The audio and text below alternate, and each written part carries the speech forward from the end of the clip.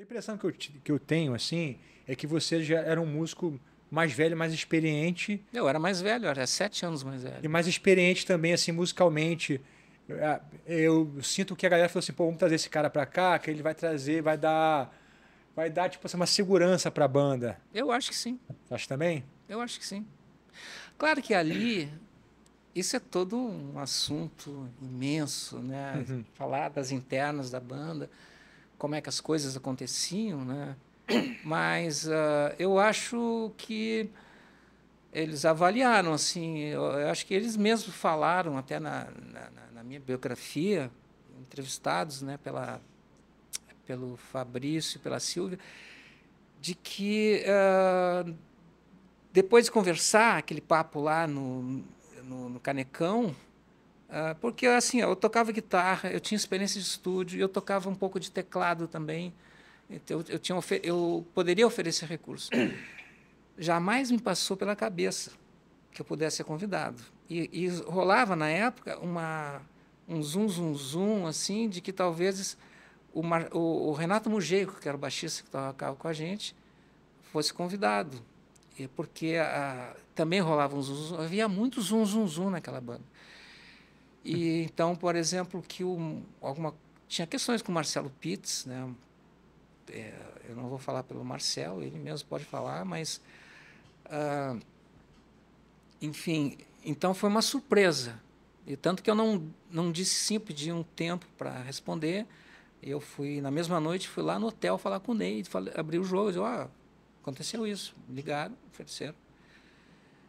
E ali eu, ingênuo, eu era mais experiente, assim, coisas técnicas, estúdio, sem dúvida.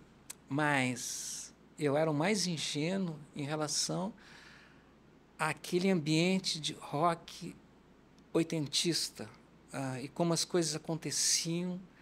O, uh, o Humberto, Carlos, eles já tinham um pique de estrada, de lidar com divulgação, com lidar com, com gravadora, coisas assim que eu era. Mas muito... eles já estavam com gravadora, porque no primeiro álbum. Sim, RCA. Ah, já foi. Mas é. ele já entrando no primeiro álbum, já foi lançado de cara para uma gravadora? Sim, longe demais das capitais. O caso do Ney, não. O Ney lançou independente para viajar no Cosmos. Depois ele fez um contrato com a City, que é uma gravadora gaúcha lá de Caxias do Sul. E uh, o Carecas foi pela EMI.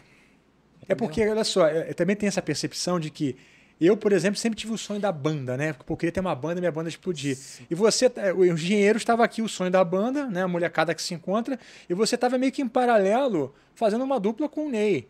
Que é, é uma pegada diferente, assim, né, cara? Mas eu comecei como dupla com o Ney, mas evoluiu Ney e banda. Ney ah, entendi. é uma coisa tipo Bruce Springsteen com os que tocam com ele tipo assim, uma quase banda pelo convívio. Sim, sim, né? Okay. Não era uma banda, porque a banda é uma entidade de, uh, de, de, várias pessoas uh, formando uma única pessoa, assim, não, né? Então isso e isso foi uma questão para mim que quando, uh, para minha surpresa, eu, eu, recebi o convite. Nós temos uma expressão lá no Rio Grande do Sul: cavalo passou encilhado. Ou seja, o cavalo com as, pronto para montar está uhum. passando. Você vai montar ou não vai? É o último. Ou é o último vagão de trem. Porque na minha geração, uh, eu era muito influenciado por 60s e 70s. Né? Uh, e o pessoal da minha geração, eles não queriam fazer banda.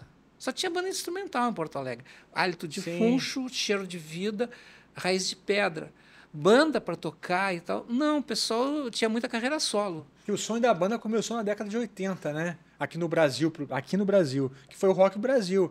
Até então não era banda, era o artista, né? O cantor, a cantora. E a banda era apoio. Ah, eu acho que assim, a partir do, do início dos anos 80, e eu acho que o Rock in Rio deu um, uma alavancada para trazer o mercado Sim. musical uh, ah, para investir na, na cena do rock Brasil. Ah, porque, assim, existiam bandas gaúchas, ah, existia, antes de Rock in Rio 1, Taranatiriça. Taranatiriça, é, eles faziam o roteiro do, do interior do estado. Mas era que estilo? Uma coisa mais regional? rock, rock gaúcho, rock de Porto Alegre, rock com um, ela tem um se, se, fala assim tem rock do IAPI da Vila IAPI, onde surgiu o Liverpool, Bicho da Seda, Bandalheira, Garotos da Rua, uh, tem uma influência e muita influência de Van Halen. Uou. Marcelinho Truda, né, muito influenciado pelo Van Halen. O, o Paulo Melo no baixo e o baterista Cal ele morreu num acidente, acho que de paraquedas, outra leve, um negócio assim. E, e, eles foram assim, antes de acontecer toda a explosão de bandas dos anos 80, eles já faziam isso, era um fenômeno.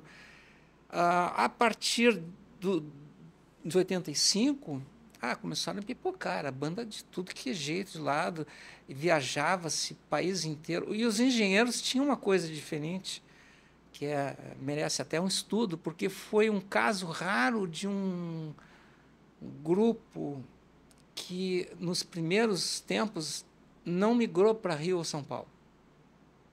Os engenheiros moravam em Porto Alegre até até 88. Lançaram dois discos e viajavam o país inteiro. Manaus, Nordeste e tal. Mas quando você entrou, a banda já estava já estava, vamos dizer, consolidada, você não estava entrando numa coisa meio embrionária já, mano. Eu não sabia onde é que, onde é que eu estava entrando. Porque assim, ó, é, eu, como eu te falei, o cavalo passou encilhado, o último vagão, o último trem. A chance de tocar numa banda, que sempre foi um, um anseio meu, né? Eu sempre fui aquela coisa dinâmica, conjunta, em vez de uh, tocar. Acho que tudo na música é legítimo, vai daquilo. Mas eu, pessoalmente, sempre carreguei desde a infância juntar os amigos, fazer os Beatles. né?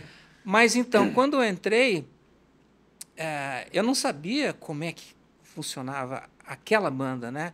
Então eu achava ingenuamente que eu poderia continuar tocando com o Ney e, e também com, com engenheiros, ah, mas não, é impossível. Não. Aí quando eu, aos poucos fui me dando conta, era uma coisa muito mais uh, exigente e ah, então, então teve, inclusive teve uma, algumas dificuldades assim para minha entrada. O meu, os primeiros tempos foram, a gente fez uma gravação de um disco, Revolta dos Dandes, e ali. Você entrou é, para gravar o disco? É. Tá. Nós tivemos um mês de ensaio e gravamos em São Paulo. As composições já estavam todas prontas. Todas prontas, né? Então eles tinham até Humberto e Carlos gravado uma, uma uma fita demo. Aí nós pegando junto. Quando eu cheguei no primeiro ensaio em Porto Alegre, eu fiquei falando, cadê o Pitts? Eu não sabia que o Pitts não estava mais na banda. E eu estava entrando no lugar do Pitts. Mas eu era um guitarrista, o Pitts era baixista. E eu vi o, o alemão, Humberto, com, afinando um baixo ali. Aí aquilo e tudo assim, né? Uh, eu achava que ia ser uma segunda guitarra. Que esse baixo, inclusive, tem a particularidade que ele é afinado uma oitava acima, não é isso? Esse baixo? Eu acho que não sei se ele é afinado uma oitava acima, é que ele usava no começo palheta. Não, mas ele tem aquele som de baixo, baixolão meio acústico. Ele não é, é afinado uma oitava acima, não, esse baixo? Eu não sei te dizer, tem que perguntar para o Humberto. Eu, eu, creio que sim, depois dá uma procurada aí. Se não me engano, era um Rickenbacker. É, tem um som meio de, de baixolão, assim, nesse Tanto que no álbum. disco ele soa, ele é paletado, né? E, e a gente estava se fazendo um reconhecimento mútuo, né? No disco, o, o, disco teve alguns resultados muito bons. E eu gosto daquele disco pela pureza, assim, porque eu estava me sentindo um salto no escuro. Eu não sabia ia entrando.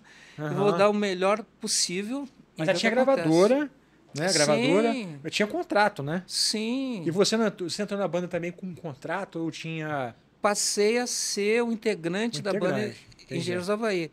Então, é aquele negócio, é, é, é diferente quando se fala formação, formação. Não, existe banda e existe não banda. Assim, por exemplo, o Pitts era integrante da banda. E ele, ele saiu e eu entrei como o, o novo integrante da banda. Entendi. Né? Não era assim um. É, e então na gravação do, do Revolta dos Dantes ah, foi assim um, um, rápido, gente, aprendizado de, de situações que eu, que eu não estava nem preparado, assim. Quem produziu esse álbum? O Reinaldo Barriga. Ele já tinha produzido o primeiro disco, né, o Longe Demais das Capitais. Uh, então, ali foi... Uh, uh, o, o Revolta dos Nantes é um disco que, tecnicamente, ele tem algumas imperfeições, assim. Acho que muito pela, pela precariedade da própria banda, nós mesmos. A mix é meio estranha nesse álbum, eu acho que é meio separado, tudo, os instrumentos estão meio separados. É. assim. é porque ele é um disco muito vazio também, é. e era uma intenção. Entendi. Obrigado por ter assistido a esse corte do Starlink Cast. Você pode assistir o episódio completo aqui na descrição do vídeo. E aproveita se você é guitarrista para fazer parte da maior escola virtual do Brasil, exclusiva para guitarristas, tocando ali no QR Code ou então na descrição do vídeo. Te aguardo lá.